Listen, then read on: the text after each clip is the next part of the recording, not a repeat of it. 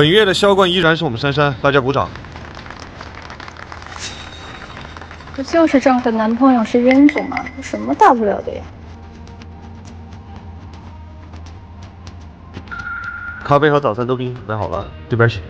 就知道，就这还是销冠呢。冤总，我觉得不公平。珊珊她经常都在玩，你总不能因为她是你的女朋友，就次次都把销冠给她吧？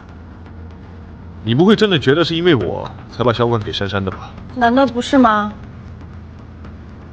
来，这有个客户，如果这个月能谈下来，那销冠就是你的，而且一切的待遇都和珊珊一样。好。哎，黄总，我是认识的。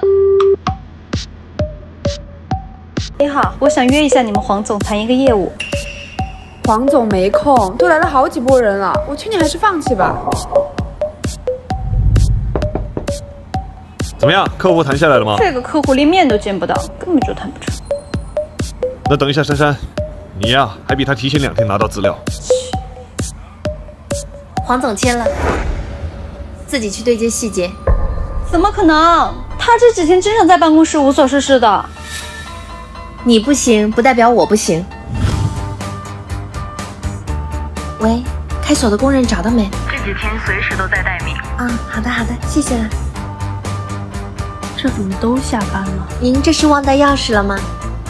这工人也都下班了。我刚好有个朋友是开开锁公司的，我可以帮您问问。真的吗？那太感谢你了。没事儿，都是邻居。接下来就是等电话。上次真的太感谢你了。没事。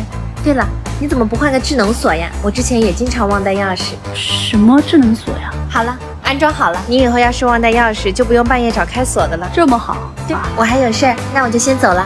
我今天还想请你吃饭呢。你有事情，改天可一定要来啊。好，一定。接下来就是慢慢熟悉，不露痕迹，透露出需求。看到了吧？我都得依仗他，不把他供起来怎么行？做事要动脑子，别一天发挥在八卦上面。